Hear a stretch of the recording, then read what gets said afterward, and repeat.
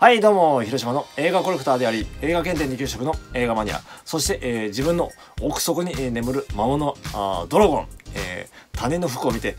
ウヒヒって、えー快感を得るもうクソ野郎ってえーらしいんですけどね。であとこういったね、えー漫画を描いております。みじこでございます。ようそろう。えー今回はあ特別企画ということで、えー来月11月に、えーハピネットさんからあ発売されるホラーマニアックスシリーズー第12期第4弾のフェノミナ、えー日本語吹き替え音声収録の 4K レストア版のブルーレイ、えーこちらにつくね、えー日本語吹き替えの制作プロジェクトのクラウドファンディングの、えー支援サポーターとして、えー自分ね、えー参加させていただきました。で、そして、えそのリターンの特典がね、こうして着弾しましたので、えー今回はねこちらを開封していきたいと思います。でフェノミナ一度ね、えーこうして、えーフラーマナックシリーズ第8期でね、えーブルーレイ化になってたんですがまあそれまではね、えーもうすごいね、えープレネになってたんですけども、まあ、4K レスランがね、えーまあ、再販されるっていうことで、まあ、一気にね下がっちゃいましたね、えーでこちらねフェノミナ、えーサスペリアなどね、えー魔女3部作のおイタリアのおホラー映画の巨匠、えーダリオ・アルジェントね、監督のお作品で、まあ、なんだろう独特の世界観をね、まあ、お持ちのね、監督さんでね、まあ、なんでもないシーンでもね、まあ、空気感、えー時間などがね、まあ、よどんでるっていうか、まあ、異様さをね、まあ、それで、えー映像でね、表現されていて、で、普通の映画なら、まあ、入れないようなね、絵とか、まあ、展開もね、入れて、で、恐怖とね、えー笑いも誘ってきますし、あとね、えー、ツッコミどころもね、えー満載というね、まあ、何よりもね、えー主演の美少女ね、もうこれでもかというくらいね、まあ、虐待と言ってもいいくらいね、い汚しまくる。まあ、それがね、えーまあ、芸術的というかね、まあ、性癖とも言えるよね、まあ、そんなね、えー変態。いや、あ映像作家はね、えー、ダリオ、アルジェント監督のね、え作品で、まあ、その、性癖のね、まあ、極み、まあ、最高峰と言ってもいいですかね。まあ、13歳のね、えーまあ、超美少女の、えージェニファー・コレニーにね、まあ、無理やり、えー、蜂やら、ハエをね、えー、撫でさせたり、あと、匂いをね、嗅がせたりしてね、あ、可愛いですね。あ、私、虫が大好きなんです。とね、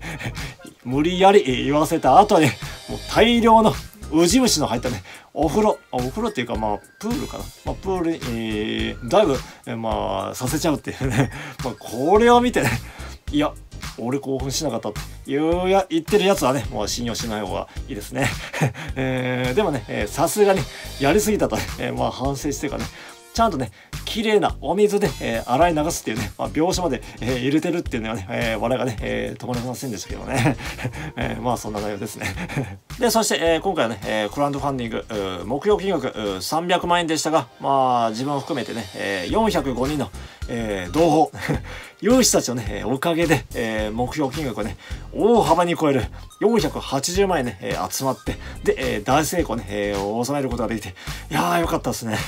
うん、まあ、このコロナ禍でね、まあ、自分もね、えーきつかったんですが、まあ、きつかった分ね、えー無事、えー完成して、で、えー来月ね、えー発売されることに大変ね、えー喜んでおります。あ有志たちとね、あと、えースタッフさん、えーそして、えー声優さんのね、えー、本当感謝ですね。で、そして、えーリターンのね、えー紹介ですけども、えーまずはね、えー3300円の、えーコースがあるんですけども、まあ、こちらはね、えー発売前に、えーまあ、33分のね、えー大絶版が見れるっていうことですね。まあ、携帯でね、まあ、メールが届いて、えー見れるようになってるんですけども、まあ、ちょっとね、えー今見ようとしたら、ね、まあ、こちらがあ見れる、えー期間があってね、まあ、2020年10月1日までだったんですよね。まあ、結局自分ね、それ見れずに終わってしまったんですけどね。ああ、それはちょっと残念ですね。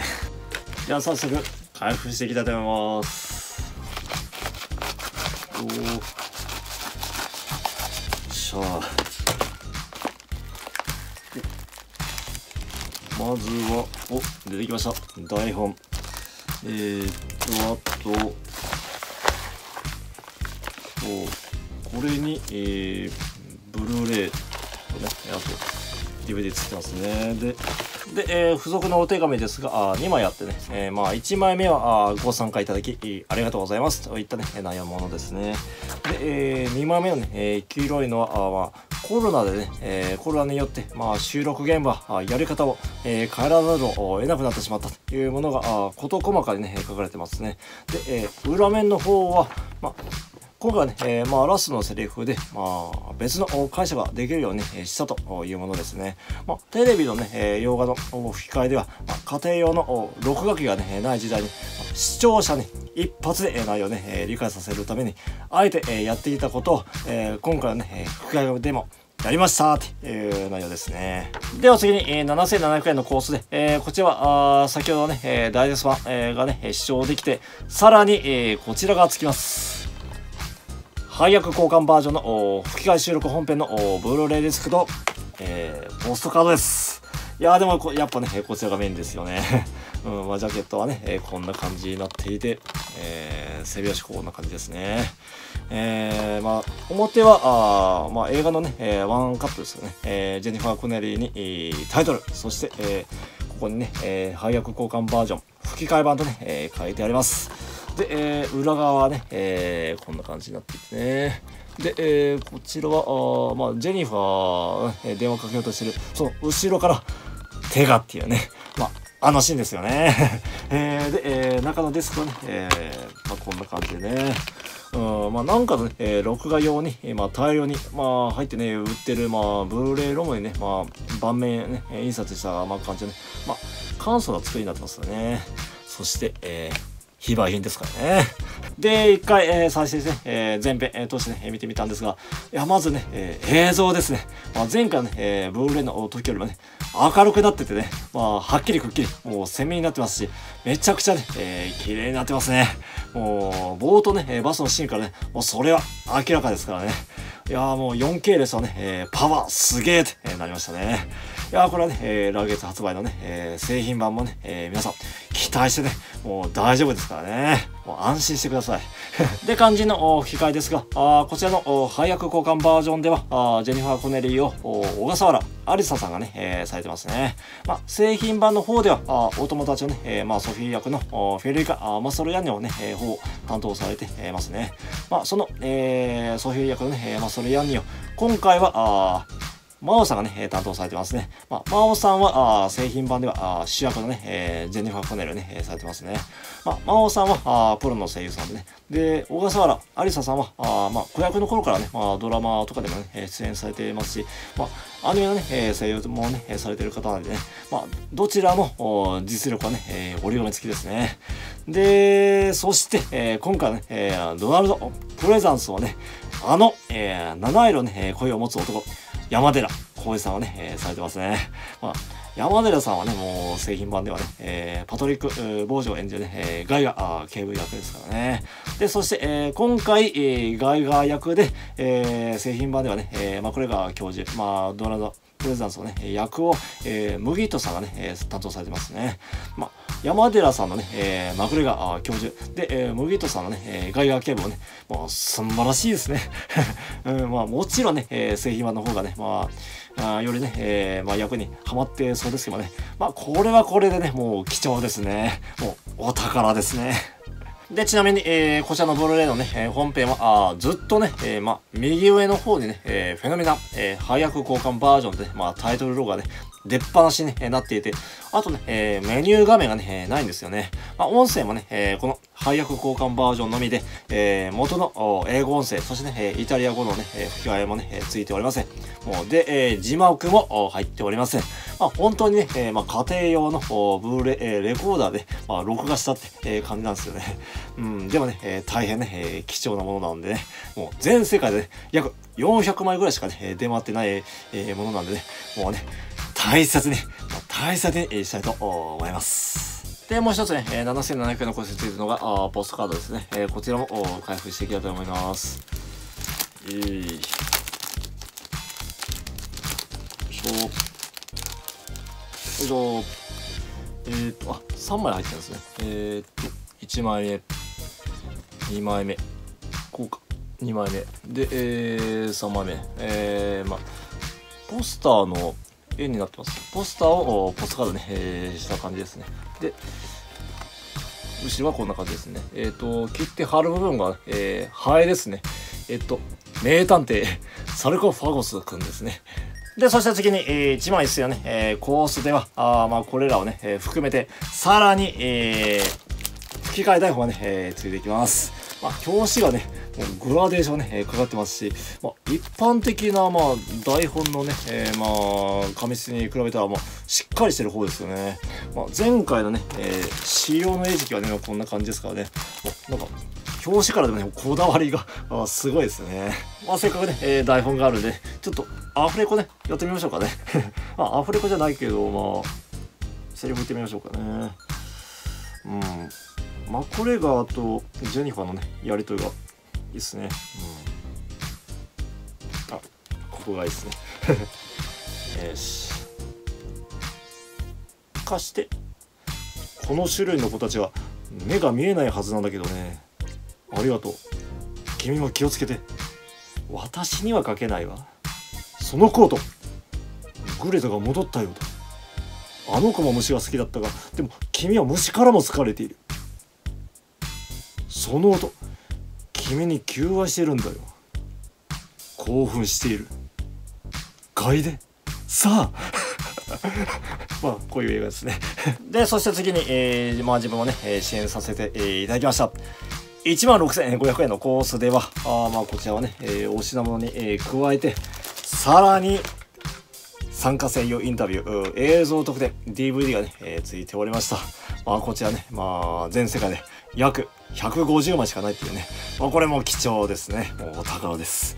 えー、でこちらね、えー、ジェニファー役のマオさん。そして、えー、マクレガー教授役のね、えー、麦人さん。で、えー、ブルックナー役の榊原涼子さん。そして、えー、ソフィー役の小笠原ありささん。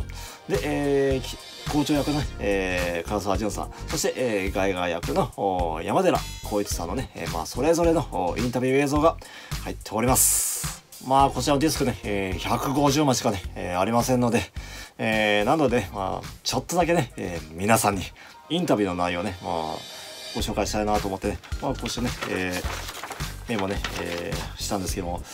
えー、まあ、まずね、えー、ジェニファー・コネリーのね、えー、声を吹き替えされた、えー、マオさんですが、まあ、ジェニファー・コネリーがね、えー、まあ、13歳はね、当時13歳にしては、まあ、大人っぽいんでね、まあ、日本人がもう13歳よりか、まあ、少しね、大人っぽく、そしてね、えー、ジェニファーの真の強さ、そして、えー、しっかりしたところをね、意識して、えー、演じられたそうですね。で、そして、ホラー映画ということで、まあ、悲鳴を多くね、出さなければならないのは、まあ、普段のね、仕事とは違って、えー、難しかったそうですね。で、えー、虫はあ苦手な方でね、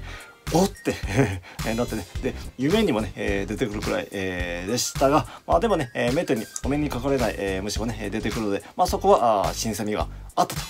のことです。で、そしてこれはね、えー、毎回、え、聞くのはね、えー、恒例なんですがね、えー、好きなホラー映画ですけどね、まあ、真央さんは、あそうのね、一作目と、で、あと、悪魔の生贄なんですよね。えー、まあ、ホラー映画はね、結構いける口みたいですね。で、そして、えー、マクレガー教授、そして、えー、早く交換バージョンで、えー、ガイガー警部をね、演じられた、あ麦人さんですけども、えー、一昔前の、えー、作品なので、虫の描写がもうすごかったと。えー、でも自分は、虫が苦手な方なんでねって言ってましたけどね。まあ、でも、ウジ虫の、ウジ虫の水槽のシーンはね、えー、まあ、逆にそれを酒の魚にして、え、飲んでたそうですね。あ、麦人さんは信頼できますね。で、えー、好きなホラー映画ですが、まあ、なんか自身もね、えー、携わったバタリアンの CM だそうですね。バタリアン、本編はあ見てないそうです。CM ですね。バタリアンの CM ね。で、あと、ポルターガイストは、あまあ、ジェリー・ゴールド・スミスのね、えー、音楽がいいから、まあ、好きだそうですね。で、えー、山田さんとね、えー、早く交換したのは、まあ、楽しかったけれど、まあ、ガイガー警部のね、まあ、役がね、まあ、若いね、方なんで、まあ、でも、年相ね、役ではないので、まあ、大変だったそうですね。で、そして、えー、クラウドファンディングで、ね、こういった作品が掘り起こされることは、まあ、大変素晴らしいと。で、えー、コロナがね、えー、収束して、えー、フィクション、怖い話が楽しめるように、えー、早く戻ればいいなとおっしゃられてましたね。で、ソフィー役の小笠原ありささんですが、まあ、今回の早く交換バージョンね、えー、ジェニファー・コネリを演じた際にね、まあ、ウジ虫のシーンはね、もう気持ち悪くて、もうきつかったということですね。まあ、虫があ苦手な方ですね。で、ホラー映画はね、なんか苦手で、えー、見れない、えー、方でね、なんか小学生の頃で見たね、えー、チャイルドプレイだけはまあ楽しめたってことですね。ま、その後のシリーズもね、えー、見続けてるみたいですけどね、まあ、それぐらいですかね。で、次に、えー、ブックナー役の榊原涼子さんですが、あまあ、映画にはね、えー、映らない、えー、ブックナーのね、えー、過去の人物像、自身で、えー、想像しながらあ役作りをして、で、えー、芝居したそうですかね。いやー、いや、坂倉さんね、まあ、様々な映画のね、吹き替え、そして、えーアニメ作品でもね、えーご出演、えーされていますが、やはりプロって、えーこういうことだって、えー思いましたね。まあ、後のね、えー唐沢さんとね、あと山根田さんのね、インタビューも合わせて、もう声優の卵にね、えー聞かせてあげたいぐらいですね。えーで、好きなホラー映画はね、えーオーメンだそうですね。えーグレゴリー・ペックのリアルな芝居があ怖かったあそうです。で、そして、えーヨーロッパではね、まあ、特にね、虫が嫌いな人が多いのに、その逆の、えー虫が好きなキャラクターのね、映画を撮るっていうのは、もうすごいとね、もう感心されてましたね。まあ、ちなみに、えー自身はね、え素手でね、え虫を捕まえるぐらいね、平気だそうですけどね。で、そして、え自分がね、え今まで、え芝居してきて、え定着してしまったイメージの役だけではなく、まあ、意地悪ばあさんなどのね、まあ、いい役だけではなく、悪いイメージのね、役にも、どんどんね、えーチャレンジしたい、えーキャリアにあぐらをかかず、もうアフレコをね、えー改革して、もうこの吹き替えの文化を絶やさないという面でも、日本語吹き替えをね、チャンスを与えてくれて、ありがとうございます。とのことでしたね。で、次に、えー校長役の唐沢淳さんですが、まあ、フェノミナはあリアルタイムでね、えー映画館に足を運んで、えーご覧になったそうですね。で、女の子が、なんか殺されるところのガラスに幽霊らしきものがね、映ってるとか、あと、えー映画の衣装をね、えーまあ、イタリアの名デザイナーのね、アルマニが担当されるのもね、ご存知で、まあ、相当ね、え本作についてはおかしかったですね。で、えー好きなホラー映画は、あーサスペリア。まあ、同じね、えーダリオ・アルジェント作品のね、えーサスペリアで、まあ、独特のね、えー美学、哲学をね、えー感じられるところが、えーいいとね、えーおっしゃられてますし、あとね、えーホラー映画でも、えー、こけ落としでね、えー怖がらせるものよりかは、あー人間の根底部分にある、痛みや、えー悲しみで、えー見せる作品がいいとおっしゃられてましたね。で、そしてね、えー昔の、えー放送されていた洋画の吹き替えは、まあ、ツアーのね、声優さんたちが共演、まあ、競い合うのね、えー共演で、まあ、それはとっても魅力的で、もう贅沢なものだったと。で、えーそれはね、もう、言語の、まあ、元のね、えー俳優さんの声で聞くと、がっかりするくらい、もう本当素晴らしいものだったとおっしゃいますね。で、その、唐沢さんが好きだった。吹き替えを。絶やさないため、そしてね、えーまあ、発掘されていない、えーまあ、優れた作品、で、えー吹き替えの入っていない、えー作品、で、えー吹き替えられているものも、またね、えー別の配役で、えー撮ったりと、されると、えー嬉しいし、またね、えー今回のようなあ機会を我々に与えてほしいとおことでしたね。で、最後に、えーガイガー警部と、あと、配役交換で、えーマグレガー教授をね、えー演じられた山寺浩一さんですが、まあ、両者ともね、えー出番が少ないですが、まあ、ジェニファーにね、えー頼られる存在である感じで、えーしっかりとやらせていただきました。とのことですね。で、えー配役交換をしてね、えー麦人さんとね、えー比べられるのは、まあ、困るとね、えーおっしゃられてましたが、でも、自分は役の幅の広さで、えー勝負するタイプなので、やりがいはあったと。で、えー長くね、え声優のお仕事をやっていきたいので、まあ、こういう老け役なんかはね、えーどんどんやっていきたいとね、えーおっしゃられてましたね。で、そして、えまあ、声優というのはね、まあ、主にアニメの方の声優がね、まあ、世間的に、まあ、注目を浴びていますが、洋画の吹き替えのね、えーまあ、方の声優のも同じくらい、え注目してほしいとのことですね。まあ、その言葉をね、まあ自分的に汲み取ると、うん、なんか、アニメの声優がね、まあ、まあ、こういうのね、芝居だけでなく、えー歌ってね、踊ったりするアイドル的なね、えーことをして、えー名前を挙げようとする。のもいいんだけども、やっぱりね、え洋画を吹き替えね、できるぐらいの力を若い声優にあ持ってほしいし、そこを目指してほしいという意味もね、えー込められているとね、えーまあ、そうね、感じましたね。で、えー映画のね、えー吹き替えに、えー興味を持っていただいて、こうして、えー今回のね、えークラウドファンディングをやっていただくことを大変嬉しく思っておりますと。で、これからもね、えーこういうね、吹き替えの企画があるんだよって、え周りに広めてほしいとおっしゃられてましたね。で、えー山田さんのね、えーお好きなホラー映画ですが、まあ、これはあえてね、今だいておきましょうかね。うん、まあ、150人の秘密ってことでね。まあ、2作品ともね、えーホラー映画の傑作中のね、えー傑作でしたね。はい、ということでね、えーやっぱね、えベテランの方と声優さんはもう感想だけではなくてね、今後の吹き替えのあり方まで、え言及してくれていて、ああ、そうだ、吹き替えとはこうあるべきだと思わせてくれますね。ああ、やっぱりね、えー芸能事務所の、まあ、力とかでね、まあ、とりあえず売り出し中の新人やら、まあ、旬なやつらとかでただ単に人気が出た芸人とかがねうかつに入ってこれる場所ではないですよね。まあ一時的にはねまあその人気にあやかって、えー、儲かるんだろうけども、まあ、長生きできない作品になってしまうんですよねそれでは。うんまあそれは作品を殺してることになってしまうんですわ。もう吹き替えをなめんなと。本当川沢さんね、えー、おっしゃる通り文化として、まあ、吹き替えはね、えー、ファンに愛される愛されてるってことをね、えー、肝にイメージしてほしいですよね。本当歌舞伎とかと一緒なんですよね。いきなりど素人がね、えー、できることではないんです。えー、でそしてね、えー、自分もね、えー、吹き替えファンの一人として、まあ、もしね、えー、またねこのような機会がありましたら、まあ、喜んで、まあ、魅力でありますが、まあ、協力していきたいと思っております。まあ今回はね、えー、リターンの、えー、お品。本当素晴らしかったですね。はいということで、えーまあ、またね、えー、こういう映画やね、えー、吹き替えなどをね、えー、クラウドファンディングがね、えー、募集されてましたら、まあ、チャンネルでね、えー、紹介したいと思いますしで逆にね、えー、やってましたね。僕にもね、えー、教えてください、まあ、こういう形でね、えー、映画に恩返しできたら、えー、とっても、えー、嬉しく思います。はいではまた。